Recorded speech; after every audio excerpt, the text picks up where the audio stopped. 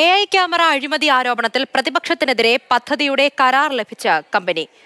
ആരോപണത്തിന് പിന്നിൽ രാഷ്ട്രീയ അജണ്ടയുണ്ടെന്ന് S R I T company CEO Madhu Nambiar Mathrubhumi ന്യൂസിനോട് പറഞ്ഞു. പ്രതിപക്ഷ നേതാക്കൾക്കെതിരെ നിയമ നടപടി സ്വീകരിക്കും. വിവാദത്തിന്റെ പശ്ചാത്തലത്തിൽ കേരളത്തിൽ പുതിയ പദ്ധതികൾ ഏറ്റെടുക്കില്ലെന്നും അദ്ദേഹം പറഞ്ഞു. എ ഐ ക്യാമറ പദ്ധതിക്കെതിരെ ഉയർന്ന ആരോപണത്തിൽ സി പി എമ്മിന് പിന്നാലെ പ്രതിപക്ഷത്തെ ലക്ഷ്യം വെച്ച് പദ്ധതിയുടെ കരാർ ലഭിച്ച കമ്പനിയും രംഗത്ത്. പദ്ധതിയുടെ നടത്തിപ്പിൽ ഒരു തടസ്സവും ഉണ്ടായിരുന്നില്ല. എന്നാൽ ഇപ്പോൾ പദ്ധതി വിവാദമാകാൻ കാരണം രാഷ്ട്രീയ അജണ്ടയാണെന്ന് S R I T CEO Madhu Nambiar പറഞ്ഞു. ഐ തിങ്ക് പൊളിറ്റിക്കൽ എജൻഡ ചെയ്യാനുള്ള കാരണമാണെന്നാണ് എന്റെ എന്റെ എന്റെ ഒരു ഇറ്റ്സ് ഡെഫിനറ്റ്ലി ടു പ്രോജക്ട് ആരോപണം ഉന്നയിച്ച പ്രതിപക്ഷ നേതാക്കളായ വി ഡി സതീശൻ രമേശ് ചെന്നിത്തല എന്നിവർക്കെതിരെ ക്രിമിനൽ മാനനഷ്ട കേസ് നൽകാനാണ് കമ്പനിയുടെ തീരുമാനം. ഇതിന്റെ അടിസ്ഥാനത്തിൽ ഉടൻ നോട്ടീസ് അയക്കും.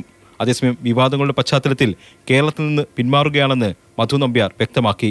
ആ പ്രോജക്റ്റ് ഞാൻ ഇനി ചെയ്യാൻ പോകുന്നില്ല. Not going to take any more projects in Kerala that part is very very clear പ്രസാദിയുമായി ബന്ധമുണ്ടെന്ന് ആരോപണമുയർന്ന മുഖ്യമന്ത്രിയുടെ മകന്റെ ഭാര്യ പിതാവ് പ്രകാശ് ബാബുവിനെ അറിയില്ലെന്നും മധു നമ്പ്യാർ പറഞ്ഞു.